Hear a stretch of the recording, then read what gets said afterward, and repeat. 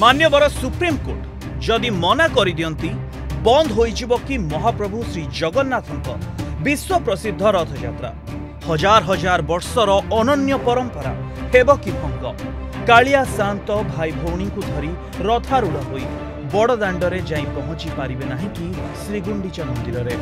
ସାଢ଼େ ଚାରି କୋଟି ଓଡ଼ିଆ ଏବଂ କୋଟି କୋଟି ଜଗନ୍ନାଥ ପ୍ରେମୀଙ୍କ ଭାବାବେଗ ହେବ କି ପଦଦଳିତ जगद्गुरु शङ्कराचार्य गजपति महाराज छ निज मूर्तिमण्डप मन्दिर परिचाना कमिटि अनुरोध कि अपमानित मान्यवर कोर्ट मना कले जगार घोष सरकार चाहिले सीधा सीधा अध्यादेश कोर्ट को रोक आदेश महाप्रभु रथजात्रा गरिपारे आयोजन मान्यवर को निर्देशको रखी जनभावना जनभावनाको सम्मान रे रास्ता प्रशस्त हुन्छ सामाजिक उत्सव ओडिसा तमिलनाडु रु शिक्षा ग्रहण गरे सुखु महाप्रभु रथजात्रा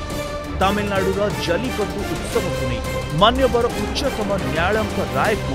जनभावनाको सम्मान करा गला न